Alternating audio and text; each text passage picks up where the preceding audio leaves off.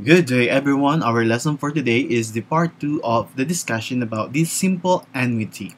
In the first part, I dis already discussed about the future value or when the future value is missing. So in part 2, I'll be going to discuss the uh, in answering a problem when the present value is missing. So when the present value is missing, we need to consider this formula. So P equals R, quantity 1 minus quantity plus 1, uh, 1 plus j raised to negative n over j. So we will use this formula. So we need to find r first, j and n in the problem or yeah, in the problem and then we can solve for the p or the present value. So we need to consider the following. So n equals mt, that is the total number of conversion period. mt is the frequency conversion and t is time in years and J equals I over M which is the nominal rate divide the frequency conversion period which is what we call the rate per conversion, conversion period. So given, ito yung mga given natin, R equals periodic payment, I equals nominal rate, M equals frequency conversion, and N, T, uh, T equals time in years. So we have this given first, okay? Uh, later on, you will uh, understand what this M is all about. But on the previous videos, I already discussed about M and time in years. Okay, let's have this problem. Suppose Mrs. Garcia would like to know the present value of her monthly deposit of 3,000 when interest is 9% compounded monthly. So, si Mrs. Grace, Grace uh, Garcia daw ay nagbibigay or naguhulog no, ng uh, 3,000 uh, every month sa maybe in a bank siguro uh, na may 9% compounded monthly. So ang hinahanap natin is the present va value or or the principal.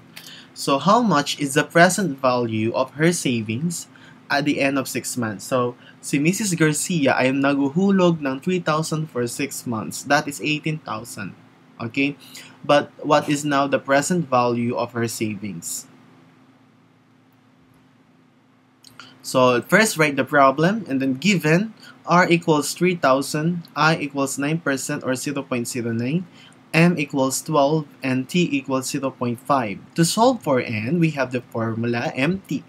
Multiply m, which is the frequency conversion period times time in years. So we have 12 times 0.5, and the answer is 6. For the next one, we have j equals i over m, which is i is 0.09 divide n, which is 12 and the answer is 0.0075.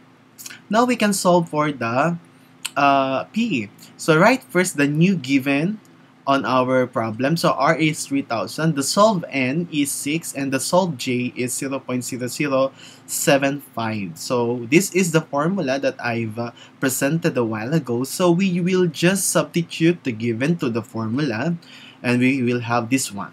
Now, if you are using now a cell phone, please follow me. Please type on your cell phone 1 minus close uh, open parenthesis plus uh, 1 plus 0 0.0075 close parenthesis raised to negative 6. I repeat, 1 minus open parenthesis 1 plus 0 0.0075 close parenthesis raised to negative 6. Click equals.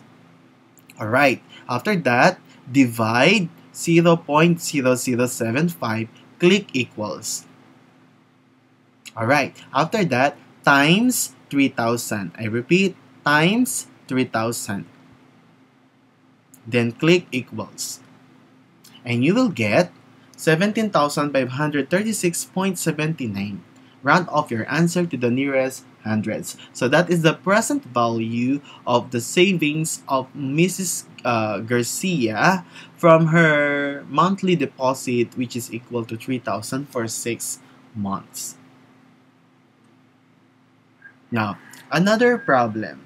Mr. Reyes paid 200,000 as down payment for a car. So, nagbayad siya ng 200,000 as down payment kasi bumili siya ng car.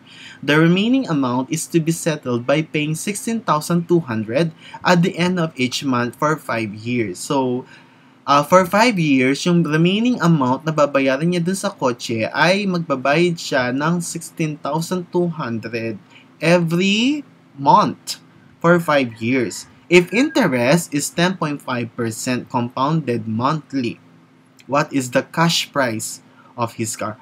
So, ang hinahanap is cash price. Pag sabing cash price, you're talking also the the ano ah, the present value or the principal. First, so solve muna natin yung principal bago natin hanapin yung cash price. Okay? So, to solve for the principal, write the given. So, we have R is 16,200. That is the periodic payment every month. I equals 10.5% or 0.105. M is 12 because it is compounded monthly.